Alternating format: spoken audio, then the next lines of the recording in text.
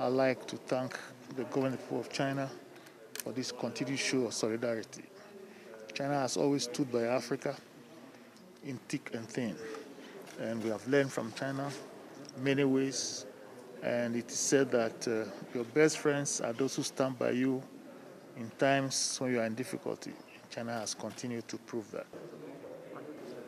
These medical supplies, which uh, consist of uh, medical of medical equipment and also consumables, they are very helpful, especially during this uh, our pandemic of COVID-19. China has been a very strategic partner in the, especially during this time of uh, this pandemic, and the, it, it has, has been all the time in the forefront in helping, working together with many African countries, either by supporting them with the medical equipment and also sending some medical teams to some of the African African countries, and this has been well well noted and appreciated.